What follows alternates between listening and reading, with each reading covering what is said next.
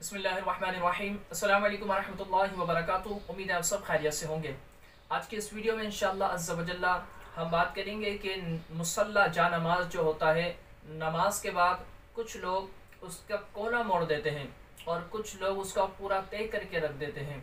और कुछ लोगों का ये नज़रिया होता है, वो ये बात करते नज़र आते हैं, भाई जा नमाज़ को यानी मुसल्ले को मोड़ देना चाहिए क्योंकि शैतान इस पर नमाज़ पढ़ता है।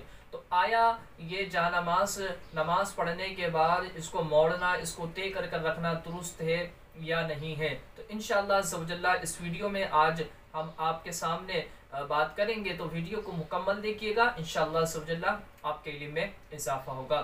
तो ये जा नमाज़, जिसको मुसल्ला भी कहा जाता है, नमाज़ के बाद इसको मोड़ने के मुतालिक सैदी आला हज़रत इमाम अहल सुन्नत इमाम इश्क मोहब्बत मौलाना शाह इमाम अहमद रज़ा ख़ान फाजिल बरेलवी रहमत से फतवा रजवे जिल नंबर तीन, सफ़ा नंबर पचहत्तर पर।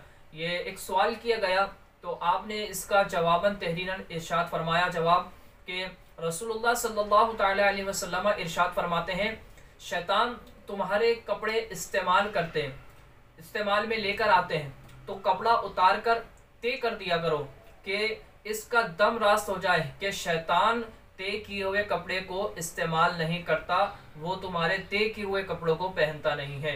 कंसुल इमाल की हदीस मुबारक जिल नंबर पंद्रह, सफ़ा नंबर दो सौ निन्यानवे पर हदीस मुबारक मौजूद है। इसी तरह यही जिल नंबर पंद्रह, सफ़ा नंबर दो सौ निन्यानवे पर कंसुल इमाल में हदीस मुबारक एक और है, यानी कपड़े लिपेट दिया करो कि जान में जान आ जाए, कि शैतान जिस कपड़े को लिपटा हुआ देखता है, उसे नहीं पहनता, और जिसे फैला हुआ पाता है तो उसे वो पहन लेता है।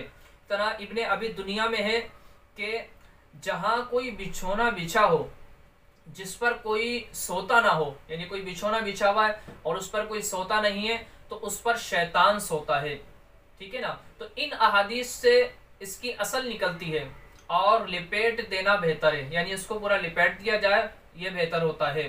जो मैंने आपके सामने हदीस मुबारक बयान करी, इससे यही पता चलता है कि ऐसे ही छोड़ देते हैं तो फिर वो शैतान उसको इस्तेमाल करता है, शैतान का वो बिछोना होता है, शैतान उस पर सो जाता है।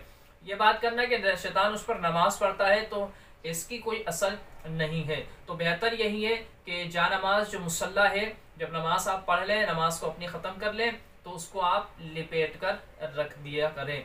अल्लाह तबारक वाली हम सबको मसले सही तरीके से समझ कर उस पर अमल करने की तोफ़ी अता फरमाए। वीडियो पसंद आए तो वीडियो को लाइक करके चैनल को सब्सक्राइब कर दीजिएगा और वीडियो को शेयर भी कर दीजिएगा। कमेंट सेक्शन में अपनी राय का इजहार भी कीजिएगा। कोई सवाल पूछना हो तो कमेंट सेक्शन में हमसे पूछ सकते हैं। असल वरहमल वर्का